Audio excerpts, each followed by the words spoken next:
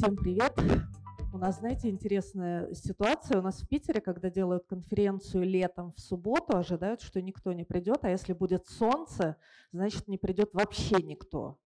А здесь, мне кажется, обратная история. Многие могут хотеть охладиться. Значит, я буду рассказывать о том, из чего, в моем понимании, состоит UX-дизайнер хороший – мне была дана инструкция делать доклад примерно для начинающих, то есть вот примерно, наверное, так и будет, но надеюсь, что все там что-нибудь для себя почерпнут. И если я смогу нажать на кнопочку, смогла. Начнем мы вот с этих вот картинок. Знаете, да, вот это что такое? Ну, в общем, если э, кто-то не знает, то это штуковина, которая называется э, изысканный труп. Эта игра была придумана сюрреалистами-дадаистами, они в нее играли, берется листочек, э, рисуется часть какого-то существа, заворачивается и так далее. И таким образом получается картинка, состоящая из, э, возможно, совершенно не связанных между собой частей, некое чудовище Франкенштейна.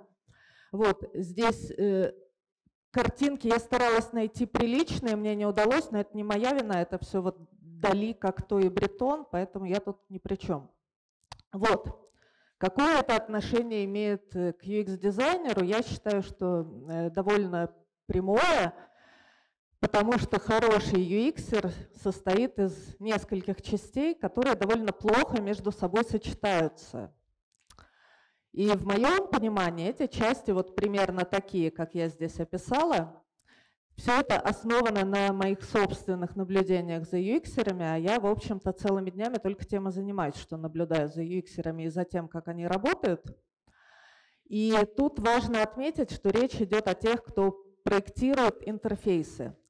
То есть если обобщить, то мы считаем, что это люди, работа которых заканчивается где-то в области вайрфреймов. Это не те, кто делают вот совсем-совсем красоту, чтобы ее выкладывать в дрибл. И э, так или иначе эти люди состоят из каких-то частей, которые где-то в области логики структуры, из каких-то, которые в области художественной, и между ними очень важный момент про коммуникацию, без которой тоже полная труба происходит. И я э, в следующие там, полчаса или сколько пройдусь по всем этим кусочкам чуть подробнее – и немножко расскажу какие-то базовые советы о том, как их можно в себе и в других развивать. Э, и начну я с страшных историй, которые у нас то и дело происходят. Первая история будет, собственно, про способность структурно мыслить. Что я под этим подразумеваю?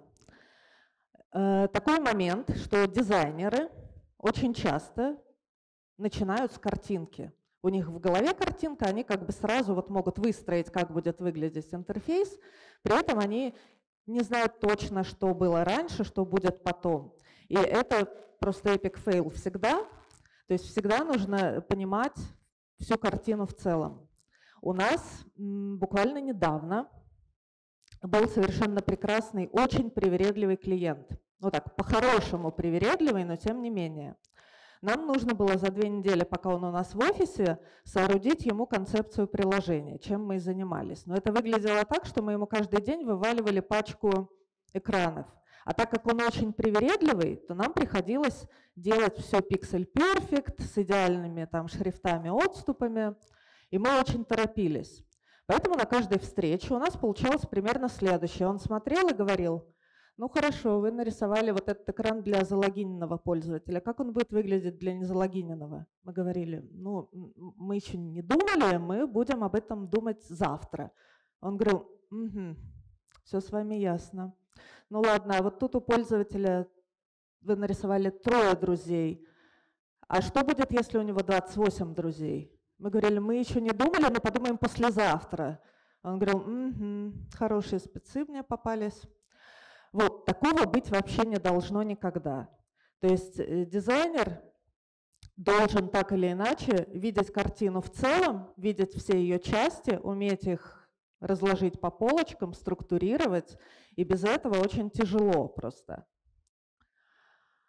Э, Все? Перестала работать? Нет, не перестала. Второй мой любимый пункт, который я называю «погрузиться в контекст», сильно зависит, конечно же, э, от э, конкретного продукта, над которым, с которым вас свела судьба, наверное, если вы работаете с каким-нибудь e-commerce, там будет попроще, потому что это то, с чем сталкиваешься в повседневной жизни. У нас очень много проектов из области здравоохранения, каких-то таких тяжелых внутренних, из области финансов. И тут происходит, например, следующее. Второй очень привередливый клиент, у нас какая-то череда пошла этих прекрасных людей, к нам пришел с запросом – он говорит, я придумал крутую финансовую систему, но только я не могу как бы ее визуализировать, мне нужен кто-то, кто мне в этом поможет, дайте мне какого-то эксперта. Мы ему дали UX-эксперта, и у них первую неделю все было хорошо. Первую неделю они там прописывали персон, э, рисовали какие-то флоу, какие-то стикеры клеили, вроде все были довольны. На второй неделе он к нам приходит и говорит, вы знаете, заберите обратно своего эксперта, потому что я трачу по два часа в день, объясняя вот эту вот всю финансовую логику и терминологию. И мне надоело быть учителем, я так больше не могу.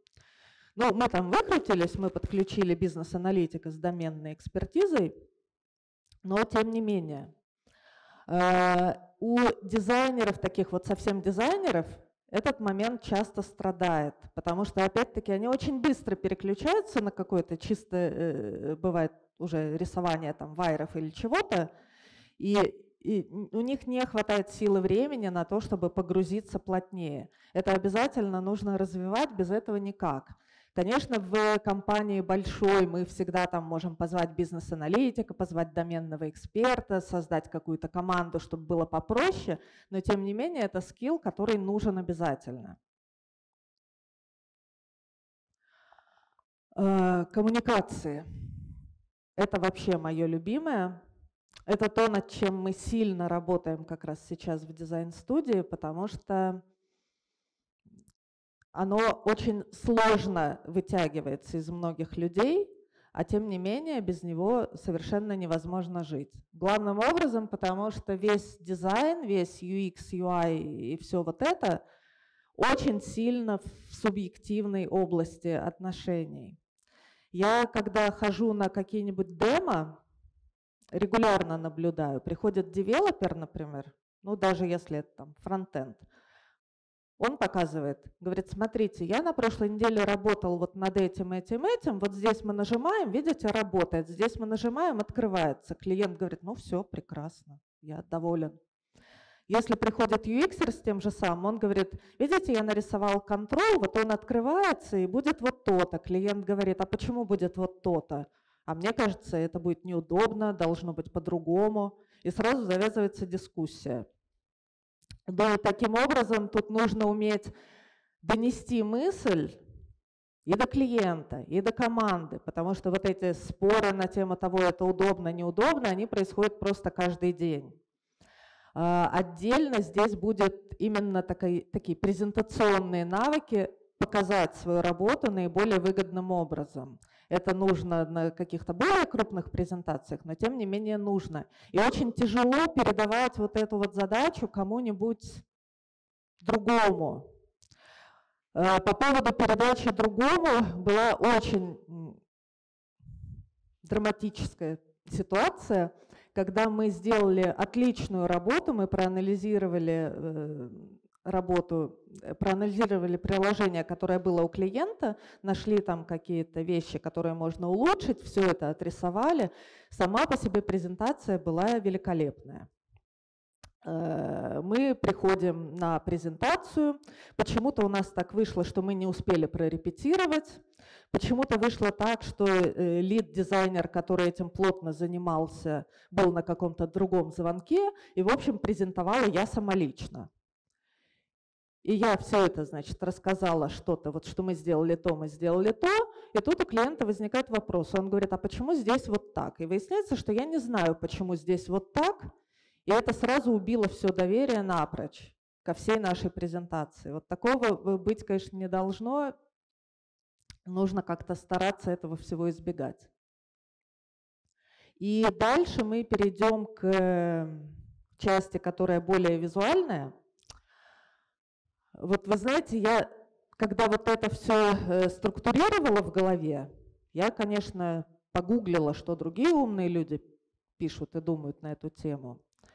И многие пишут и думают что-то там похожее, но вот такого пункта про насмотренность почему-то никто не упоминает. При том, что мне кажется, что это ну, э, очень важная вещь, которая позволяет очень ускорить процесс любого проектирования.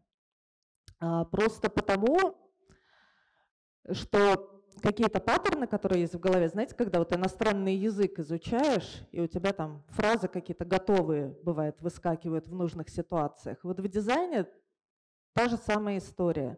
Если у тебя в голове есть, там, не знаю, 150 видов э, дропдаунов, то гораздо проще быстро предложить нужное решение.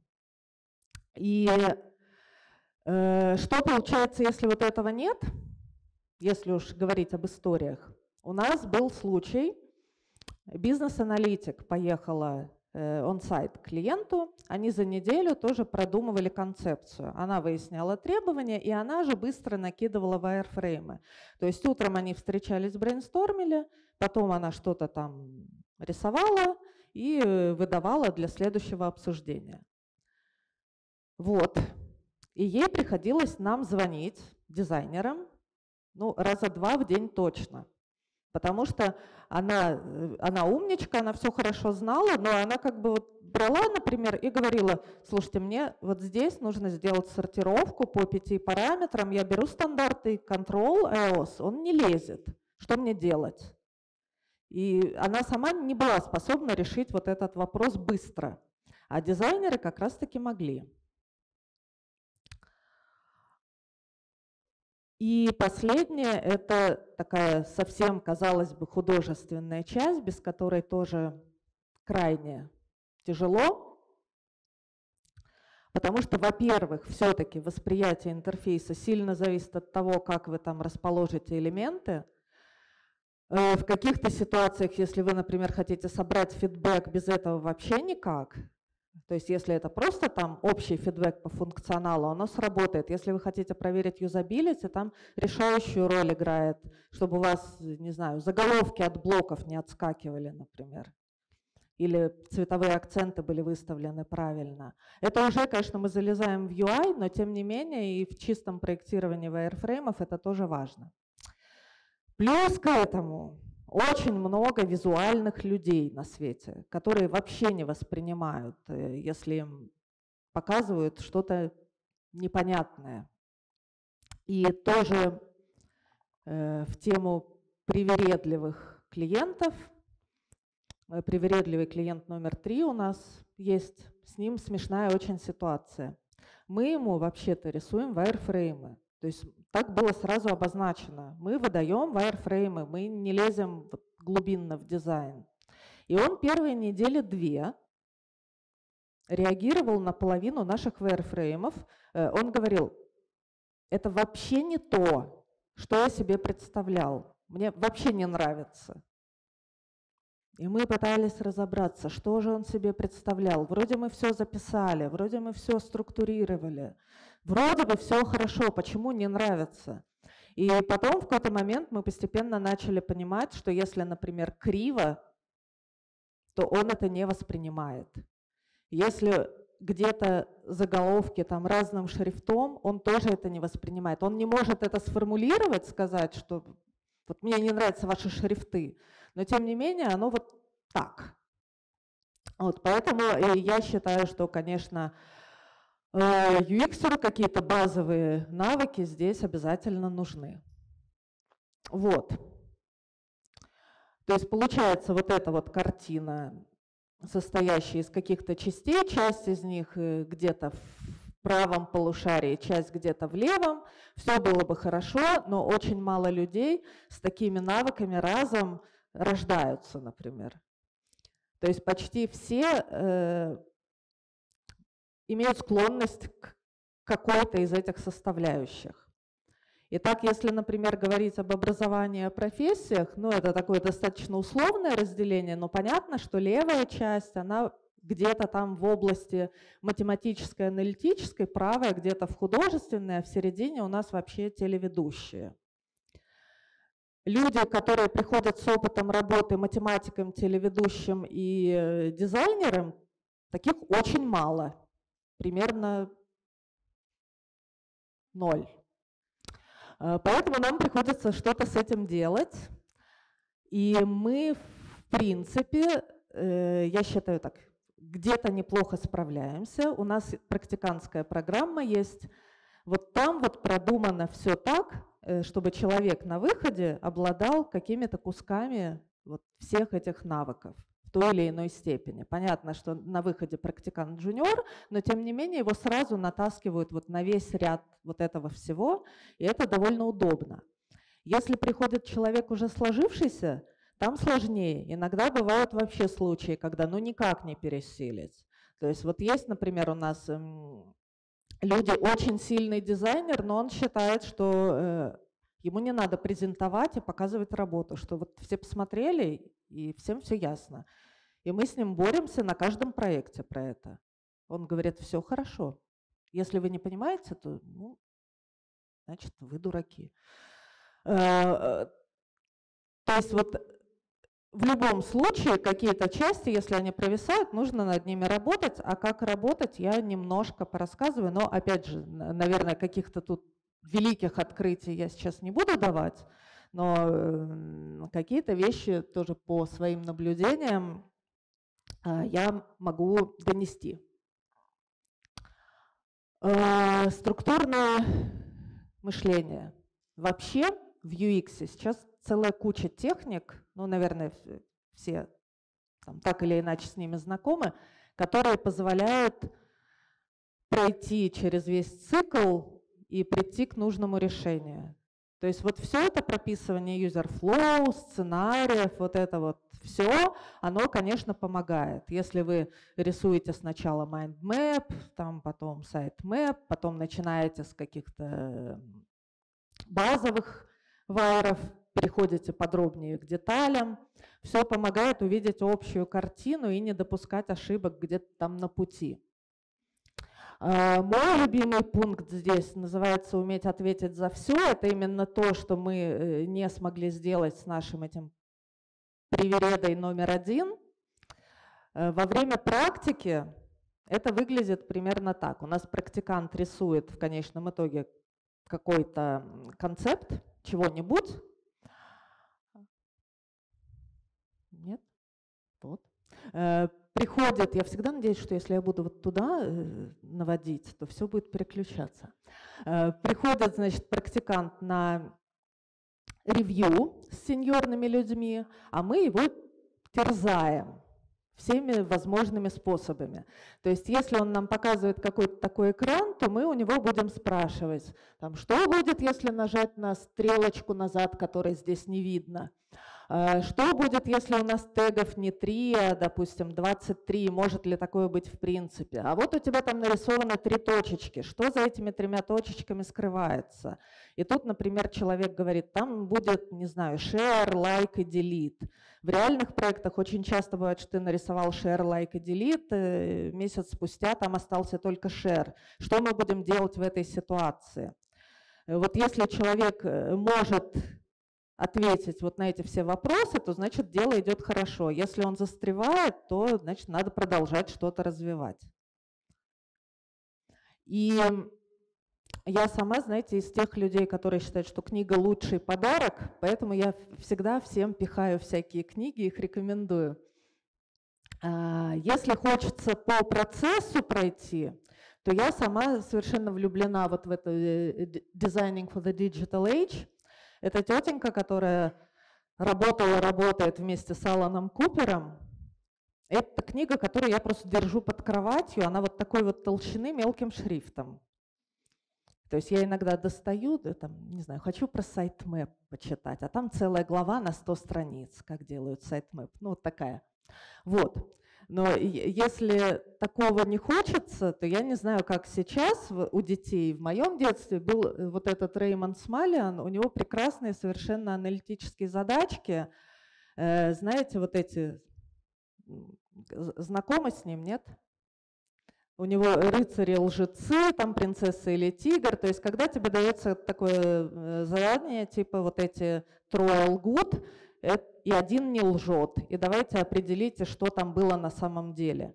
Это очень хорошо раскачивает мозг в сторону как раз э, аналитического мышления, и при этом это просто приятное занятие. Поэтому я всегда тоже такое рекомендую. Дальше. Опять я надеюсь, что на меня отреагирует этот э, контекст. Значит, с дизайнерами, как я говорю, проблема в том, что почему-то они часто не решаются задавать вопросы. Это вот на стыке, конечно, с коммуникациями, но тем не менее стараются как-то замять эту тему, быстро послушать и пойти уже заниматься делом. Вот так вот быть не должно. А, и здесь помогает ну, во-первых, какая-то теоретическая база, например, типы вопросов. То есть если вы уже там знаете, что бывают вопросы открытые, закрытые, вы получше понимаете, как ими можно действовать, какие-нибудь там конвергентные, дивергентные, фактические. То есть вы знаете, какие могут быть типы, вы можете их там выписать себе на бумажку и идти по ходу беседы с тем же клиентом, что-то выяснять. Э, очень важно развивать в себе активное слушание. Это э, вроде бы тоже во всех книгах прописано, очень у многих людей провисает, когда вам что-то наговорили, вы ничего не поняли, тихо кивнули и пошли думать над этим. Всегда можно переформулировать, убедиться в том, что вы поняли, о чем речь идет. Э, надо просто над этим работать, если вот знаете за собой такое, просто это делаете регулярно и все. А, и техники откапывания информации, ну, тут тоже какие-то просто вещи вы можете сами самостоятельно сделать э, вне беседы с клиентом.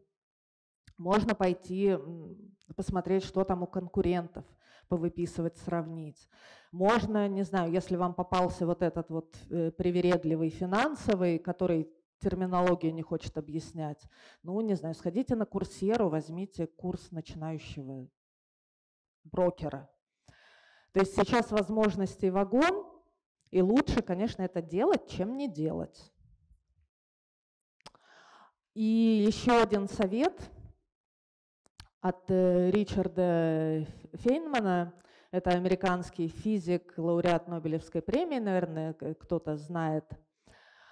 Э, он дает такой совет. Он говорит, если вам какая-то новая тяжелая тема попалась, попробуйте ее так сформулировать, чтобы вы могли ее объяснить восьмилетнему ребенку. Это очень помогает как раз самому себе в голове уложить что-то. Ну и книжка эта, она, конечно, вообще не про то, в ней нет каких-то конкретных советов. Она вся состоит из баек, которые э, Фейнман э, в своей жизни встречал. Но она просто хорошая, потому что она помогает настроиться на нужную волну. То есть когда ты читаешь, что как он, э, будучи студентом-физиком решил пойти к биологам и тут же там выбился в звезды, просто потому что ему стало интересно посмотреть, чем занимаются биологи, почему бы нет. Э, в общем, это просто вдохновляет.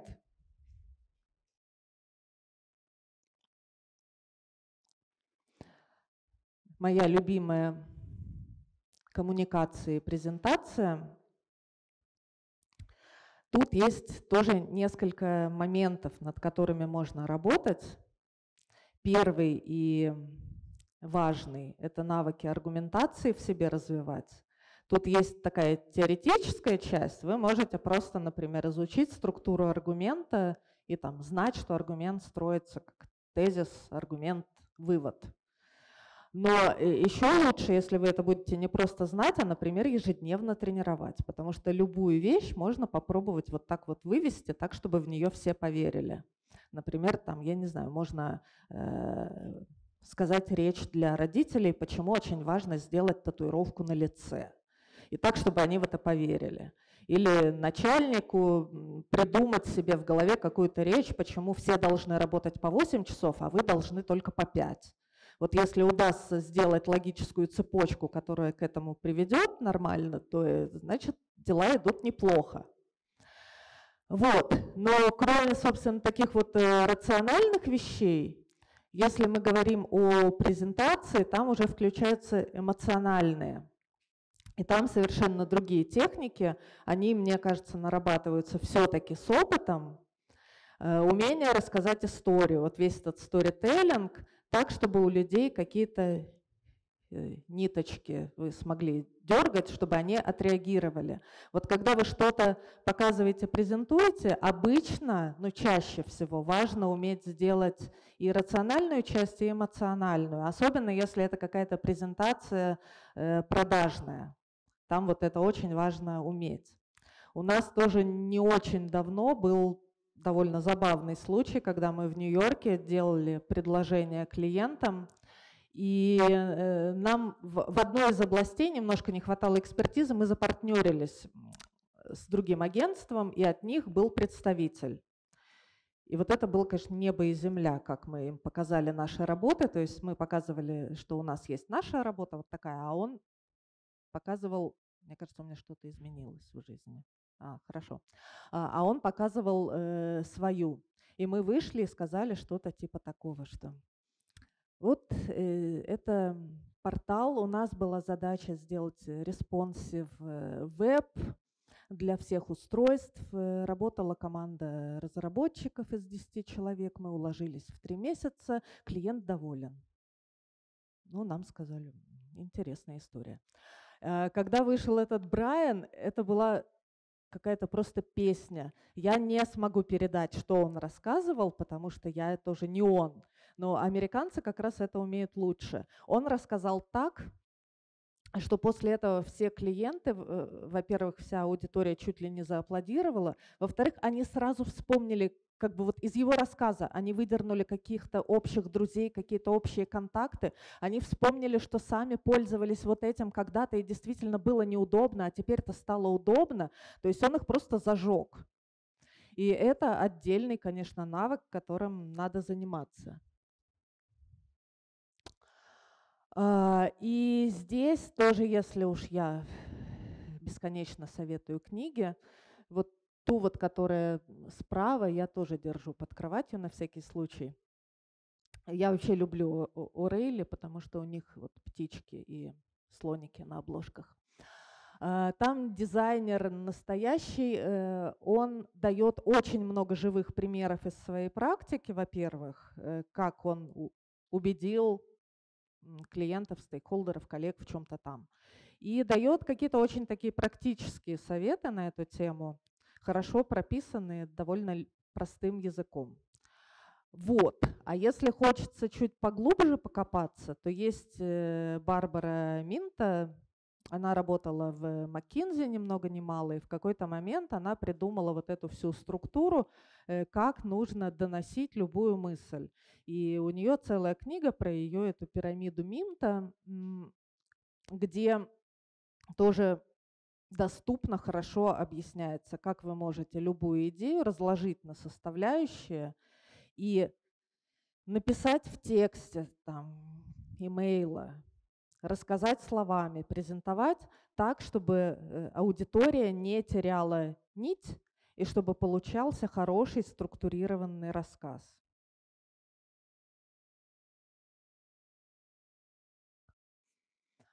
А, насмотренность на интерфейсы – это только, как мне кажется, практика.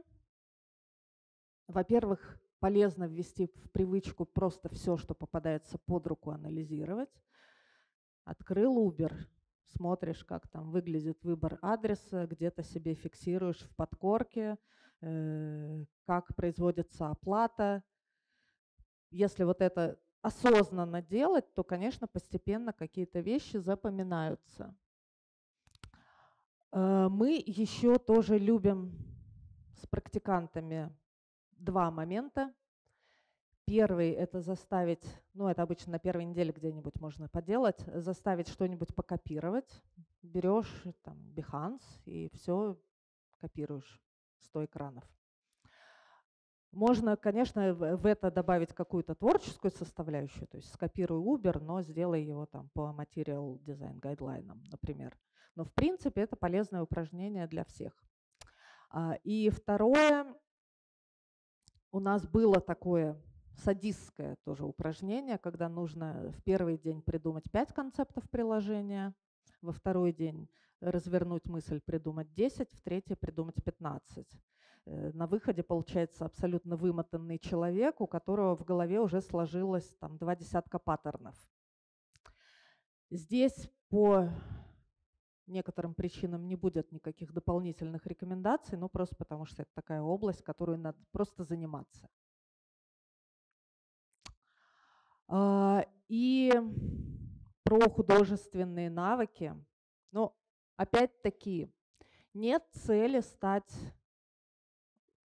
UI-щиком, если ты на самом деле проектировщик.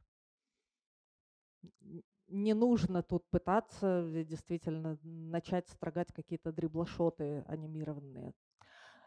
Но э, вот то, что здесь указано, оно все, мне кажется, должно быть. В принципе, тут, ну, пожалуй, все и указано из базового. Единственное, что, может быть, еще там про цвета какую-то теорию изучить. Э, уметь все расположить по сетке, понимать, какие бывают шрифты, вот это вот, оно э, никогда не помешает, в общем-то, никому. Какие-то э, принципы, там, теории близости и гештальт-принципы, все это нужно. Про сетки и прочее есть миллион материалов в сети, тут даже можно не советовать, это легко очень все находится, гуглится. Я сама считаю, что довольно удобно э, у бюро Бирмана книжки устроены, и они как бы очень доступны и легко с них начинать именно, там реальные советы. Э, но если хочется поглубже где-то покопать, то и если еще осталось у вас место под кроватью, то вот очень подходит вот та вот книга справа, она, ну, мне кажется, довольно адская книга. Она тоже такая толстая, очень мелко написана. И э, вот мне кажется, если ее прочитаешь, то выйдешь и будешь нести свет в массы на тему типографики. Но если не хочется еще нести свет в массы, то я обожаю вот эту книгу, которая Just My Type. Не проверяла, честно говоря, переведена ли она на какие-нибудь э, доступные языки. Э, но э, даже на английском она нормально идет. Автор рассказывает очень живо истории про разные популярные шрифты.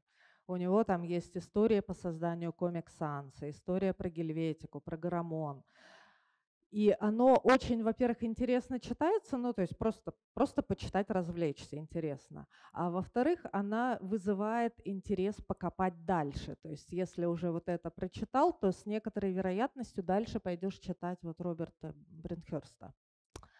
А, вот. Я, как обычно укладываюсь в гораздо меньше времени, чем я себе планировала, потому что, видимо, я пропустила кучу каких-то вещей, о которых собиралась рассказать, не знаю точно.